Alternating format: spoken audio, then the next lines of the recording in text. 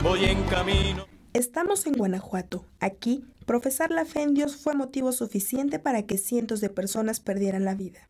Aquí en nuestra región Guanajuato tenemos el testimonio de muchos hombres y mujeres que han eh, profesado la fe y a causa de esto han entregado la vida. En precisión no tenemos un número aproximado. Reconocidos ya por nuestra iglesia son tres.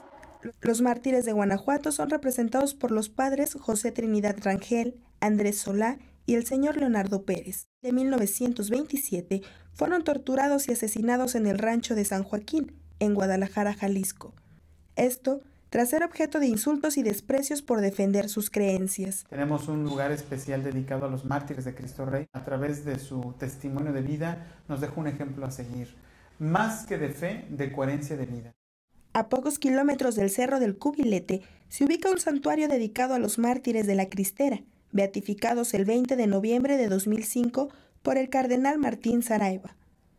En el santuario a Cristo Rey, en la parte alta del cubilete, se puede conocer a detalle la vida de estos mártires.